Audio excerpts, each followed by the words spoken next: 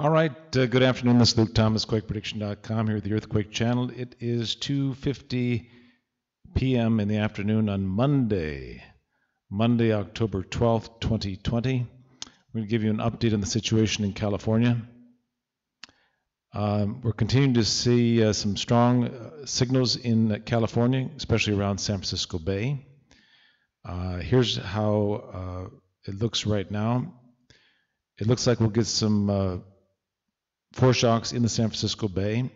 And then tomorrow, the 13th into the 14th, we will see a swarm of earthquakes near the Salton Sea. Watch for that.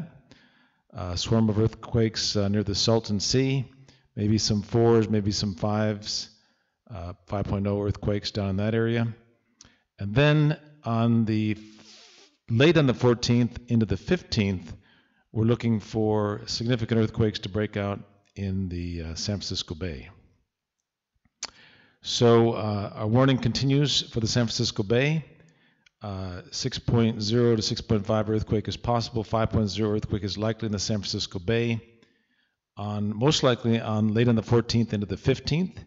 It could still hit uh, sooner than that. Uh, please look at the maps over quakeprediction.com. You'll see the exact areas where that risk is. And tomorrow, the 13th into the 14th, we'll see a swarm of earthquakes near the Salton Sea. And you can see that on that forecast as well over there at quakeprediction.com. Checking up on our world forecast, uh, we had some significant 5.0 or larger earthquakes in uh, the southeast part of Greece, uh, in our 95% risk area over there.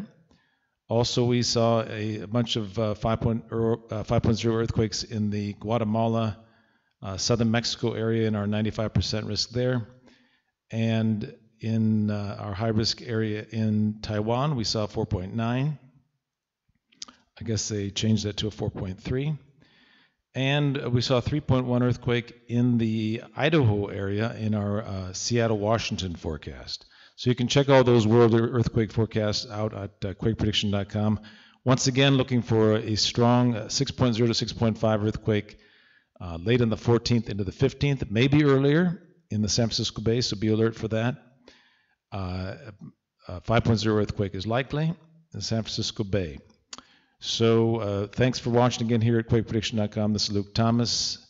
Uh, please subscribe to this video and uh, really appreciate that. And we will talk to again uh, soon. Uh, and we will talk to you if we get any updates. But, but until then, we will talk to you after the earthquake. Thank you so much.